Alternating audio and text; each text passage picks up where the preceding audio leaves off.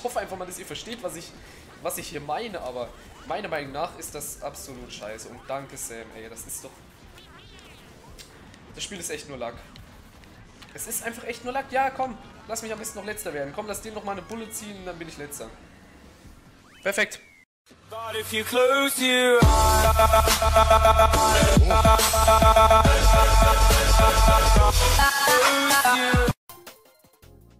Moin Leute, was geht? Und herzlich willkommen zurück zu Let's Play Mario Kart Wii Online. Ach, es fühlt sich schön an, mal nach einer langen Zeit. Äh, wieso? Warum kann ich hier bitte Custom Tracks wählen und warum ist da so eine äh. Okay. Okay. Das war jetzt, glaube ich, ein Bug, aber das ist ja egal. Fragezeichen. Also, was, äh, ich, ich komme, ich, ich verstehe es gerade nicht, aber ist ja egal.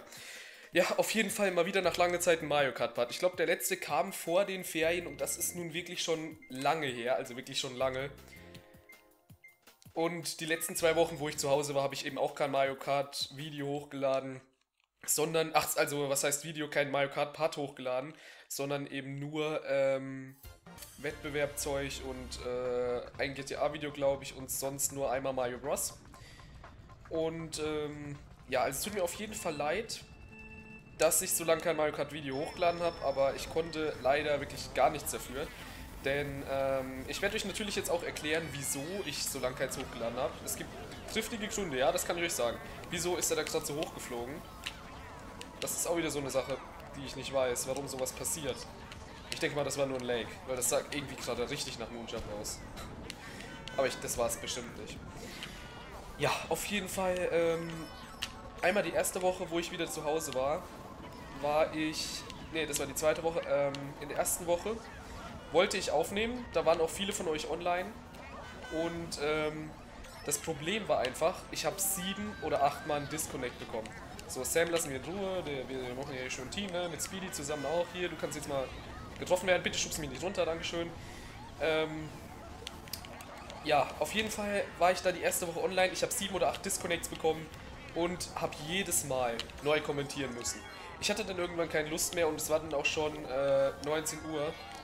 Und deswegen habe ich es dann gelassen an dem Tag, ja. Also ich hatte dann wirklich absolut gar keine Lust mehr.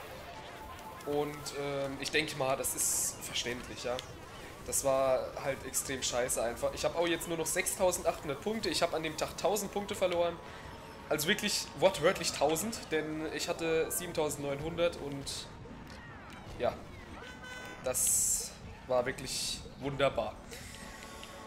Die darauffolgende Woche, also die zweite Woche nach dem Ferien, war ich dann bei Gary, weil ich habe mal wieder nach langer Zeit bei ihm gepennt und so und ähm, da konnte ich jetzt natürlich auch nicht so perfekt aufnehmen, sei jetzt mal. Und das ist, denke ich mal, auch verständlich, wieso ich da nicht aufgenommen habe. Und ähm, ja, deswegen ist einerseits äh, die Nintendo Switch, darüber will ich nämlich in diesem Part eigentlich sprechen. Es ist extrem verspätet, zwei Wochen um genau zu sein oder noch länger. Das Video hat jetzt mittlerweile schon 20 Millionen äh, Views, also die meisten von euch werden es auf jeden Fall schon kennen. Ähm, und ja, das ist jetzt halt alles extrem verspätet, es ist alles ein bisschen kacke gelaufen. Ich hoffe, das kommt bei euch trotzdem relativ gut an, denn äh, meine letzten paar Videos, die ich so hochgeladen habe, sind wirklich furchtbar scheiße angekommen. Die haben alle nur so 70 Aufrufe und das war wirklich... Also es war ein, ein, ein Schlechtheitsrekord, sag ich jetzt mal. Also ich hoffe einfach mal, dass dieses Video das jetzt so ein bisschen rausreißt, was ich hier aufnehme. Äh, ganz einfach, damit ich auch meine Aufrufe bekomme, weil mit 80 Aufrufen bin ich ehrlich gesagt nicht zufrieden. Also meinetwegen bei, bei Mario Bros. 80 gehen da immer noch klar, ja? Also so, so über 100 ist alles akzeptabel für mich, aber 60 und 80 Aufrufe und dann... Das ist demotivierend einfach. Also ich merke daran natürlich, dass es euch nicht gefällt, aber die Wettbewerbe will ich auf jeden Fall bringen. Äh, weil es ist einerseits ein kurzes Video für mich, heißt, ich habe da nicht so viel Arbeit, kann mich besser auf Schule und so weiter vorbereiten. Und es ist ein kurzes Video für euch, heißt, ihr müsst nicht so viel gucken und das Video wird meistens zu 100% geguckt, schätze ich mal, falls ihr es überhaupt anklickt. Und deswegen werde ich das auf jeden Fall belassen. So, das Item brauchen wir unbedingt und das haben wir. Und wir bekommen Power. Ja. Auf welchem Platz habe ich jetzt das Power bekommen? Auf den 9. Nein, Sam, 9. Scheiße. Oh, nee. Naja, wie gesagt, ich möchte über den Nintendo Switch sprechen und es kam jetzt wirklich lang kein Mario Kart mehr, aber ab jetzt kommt wieder jede Woche ein gesunder Mario Kart Part für euch. Gesund für euch, nicht für mich, denn ich krieg danach jedes Mal Aggressionen. Aber solange es euch gefällt, macht's mir nichts aus. Ja, also äh, 6700 Punkte. Ich würde sagen, ich bin der Oberpro auf Wimpy, also das ist wirklich, äh, ich glaube, so einen Score hatte ich zuletzt 2014 und das ist kein Witz. So einen Score hatte ich zu Beginn von WMFI. Oh mein Gott, 6700 Punkte. Klasse. Aber das soll ja jetzt nicht das Thema sein. Wie schon gesagt, das Thema soll jetzt endlich mal Nintendo Switch sein. Übrigens, ähm, ich bin leicht erkältet, ich habe auch mega Halsschmerzen momentan. Deswegen nicht wundern, wenn ich mich irgendwie komisch anhöre oder wenn die Audio sich halt allgemein anders anhört wie normal. Das wird daran liegen, ja. Und ähm, ja, ich habe überlegt, ob ich diese Woche einen Part aufnehme, aber ich habe jetzt, ich hätte dann drei Wochen, wo ich eigentlich einen Part hätte aufnehmen können, nichts hochgeladen, ja. Und das wollte ich euch, wollte ich euch nicht, nicht anbieten. Des Weiteren, es sieht einfach scheiße aus, wenn man mit 1950 Abonnenten oder so, das haben wir bald geknackt übrigens, ähm, dann zu 60 Aufrufen und so. Das ist einfach furchtbar. Also für mich wäre das schon ziemlich schlimm, sei jetzt mal wirklich so ehrlich. Also es kommt mir jetzt natürlich nicht nur auf die Aufrufe an, aber naja, ihr, ihr versteht schon, was ich meine.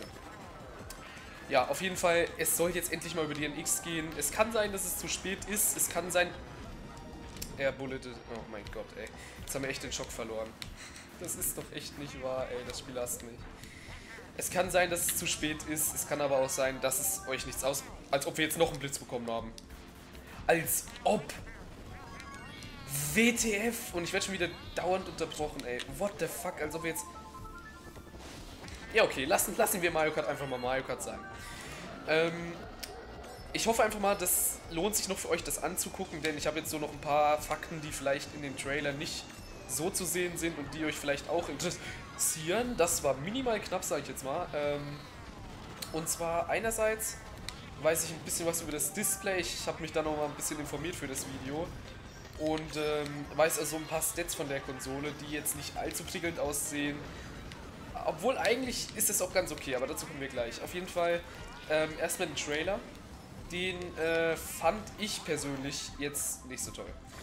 Also irgendwie die Musik, keine Ahnung, fand ich nicht gut gewählt. Und dann, dass es auch nur so, so gut wie alte äh, Spiele gezeigt wurden, fand ich jetzt auch nicht so toll. Und da kommen wir, würde ich jetzt gleich zu den negativen Sachen auch kommen. Und zwar sind das ja praktisch nur View-Spiele gewesen. Scheiße, was habe ich jetzt gemacht? Ich wollte einen Stunt machen, nicht die Items nach hinten legen, ich trottel.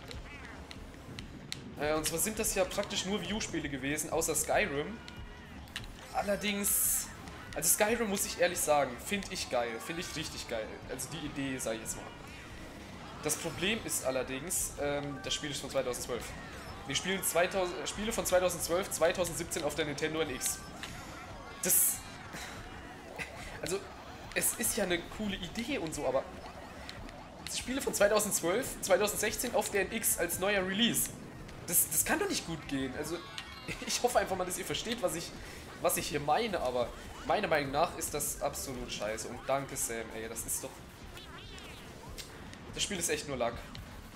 Es ist einfach echt nur Lack. Ja, komm, lass mich am besten noch letzter werden. Komm, lass den noch mal eine Bulle ziehen, dann bin ich letzter. Perfekt. Einfach nur geil. Also das muss ich echt mal sagen. Das Spiel ist einfach nur noch scheiße. Es regt mich einfach nur noch auf. Das ist peinlich. 6700 Punkte, das ist einfach nur noch peinlich. Aber ich kann ja da nichts für. Ich wachse die ganze Zeit zuerst und zweiter und dann... Naja, ich habe wieder nichts, so gut wie nichts vom Thema gesagt. Wir müssen das echt mal ändern, Leute. Ich muss echt im ersten Teil des Videos schon anfangen, über das Thema zu reden. Aber ich denke mal, das schaffen wir auch so noch. So, nun kommen wir aber mal zu ein paar NX-Fakten. Upsala, das war meine V-Mode, aber... ja, es backt. oh mein Gott, ey. Was ist das? Einfach genau in der Sekunde fällt mir die Remote runter. Ja, Speedy, moin. Ja, jetzt komme ich auch mal zum Thema, Leute. Wer hätte es erwartet? Ach hier, Mom ist auch dabei. Okay. Das fand ich jetzt nicht so nett, ne? Nein, Spaß. Ich, ich kann, ich komme einfach nicht zum Thema. Kart ist einfach so eine Sache, da kann ich einfach nicht durchlabern. Es ist einfach zu viel, was ablenkt. Meine Stimme ist hier gerade komplett im Arsch, aber naja. Ja, also. Es wurde bekannt gegeben, beziehungsweise es sind noch Gerüchte, ja. Macht euch nicht darauf fest, dass es genauso ist, wie ich euch hier alles erzähle. Ich erzähle euch das, was ich so praktisch herausgefunden habe, beziehungsweise was ich so gelesen habe, was ich so mitgeteilt bekommen habe. Und nicht das, was auch zu 100% passiert, denn ich bin ja kein Nintendo-Mitarbeiter und äh, weiß hier alles Mögliche, was die vorhaben oder was weiß ich. Also macht euch da nicht so viel aus. Ich erzähle euch jetzt das, was ich weiß und was ich gelesen habe, ja. Ähm, den Trailer konntet ihr ja alle entnehmen, äh, beziehungsweise wenn ihr ihn noch nicht geguckt habt, dann werde ich euch verlinken auf jeden Fall. Ihr konntet den Trailer auf jeden Fall entnehmen, dass ähm, größtenteils Wii U-Spiele geportet wurden. Und das wird auch höchstwahrscheinlich so sein. Äh, heißt, es werden viele Wii U-Spiele wie Splatoon und äh, Minecraft 8 geportet. Ähm, da hätte ich mal kurz auch eine Frage an euch. Würdet ihr solche Spiele wieder kaufen, also Kart 8 und so? Ich persönlich sage nee. Also Splatoon vielleicht, ja. Das Spiel fand ich cool, aber Kart 8, ich weiß nicht. Ich finde es jetzt nicht so schlecht, ja, aber nochmal kaufen. Warum? Das wäre erstmal so meine Frage. Würdet ihr das nochmal kaufen oder würdet ihr das eher komplett lassen? Oder würdet ihr die Konsole überhaupt kaufen oder würdet ihr das komplett ausfallen lassen, ja? Das fände ich cool von euch, wenn ihr mir die Frage mal beantworten würdet. Bitte habt mal einen Stern. Bitte habt einen Blitz, meine ich. Ja, hat sie nicht. Nice. Ähm, des Weiteren weiß ich ein bisschen was über den Bildschirm. Und zwar soll der Bildschirm, der ist, soll ja sowohl eine Heimkonsole auch, als auch eine Standkonsole werden. Ähm, beziehungsweise eine Heimkonsole meine ich natürlich.